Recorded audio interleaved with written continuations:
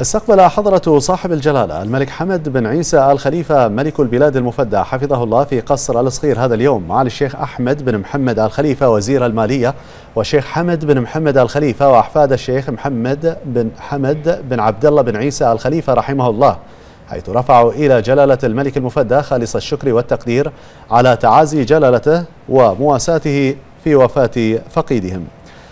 وقد أشار العاهل المفدى بمناقب ومآثار ومآثر الفقيد رحمه الله وأسهاماته في خدمة الوطن سائلا الله سبحانه وتعالى أن يتغمده بواسع رحمته ويسكنه فسيح جناته. ومن جانبهم أعرب أبناء وأحفاد الفقيد عن خالص الشكر والامتنان لجلالة الملك المفدى على مشاعر جلالته الطيبة. داعين الله سبحانه وتعالى أن يحفظ جلالته ويرعاه ويمتعه بموفور الصحة والسعادة ويديمه عزا وذخرا وسندا.